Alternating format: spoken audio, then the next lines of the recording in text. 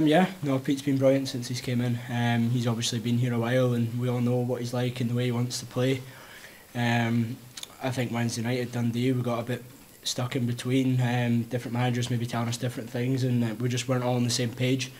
Um, so yeah, we had, we had a good meeting together as a team, and we realised the quality we've got in the team and the um, on the ball, and we need to start using that. Um, we've got too too good players in that team to to put things long and and um, and not play nice football. And today, like we showed what we can do, and it's important um, we continue that. But I thought it was a real Aberdeen performance there today.